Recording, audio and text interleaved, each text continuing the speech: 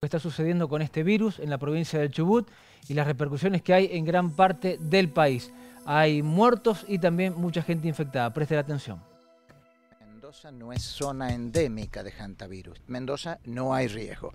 Ahora, como está sucediendo esta situación de brote en la zona de Chubut, eh, donde ha habido ya varios casos, más de 20 casos confirmados, que incluso ha habido seis fallecimientos, eh, en el caso nuestro tendríamos que dar cuáles serían las medidas de, o las recomendaciones para evitar el riesgo en el caso de viajeros.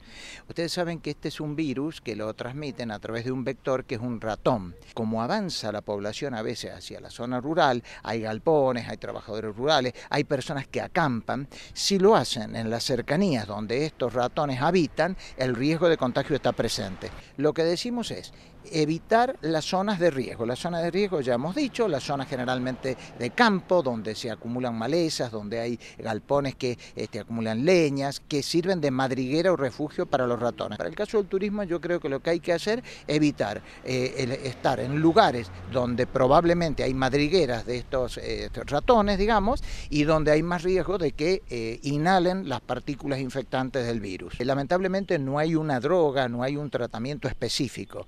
Eh, los tratamientos se llaman de sostén, eh, son cuadros como esta persona, una vez que pasa los primeros días hace un fallo cardíaco y respiratorio, este, se trata la insuficiencia cardíaca, se trata la insuficiencia respiratoria a través de eh, medidas de terapia intensiva y en general, si la persona tiene bien sus defensas, está en buen estado general, suele tolerar esta fase crítica de algunos días y después empieza la fase de recuperación. En el caso que la persona tenga alguna enfermedad crónica de base o esté debilitado por alguna otra injuria, en este caso el riesgo de complicaciones severas es alto y la mortalidad puede llegar a tasas de hasta el 50-60%.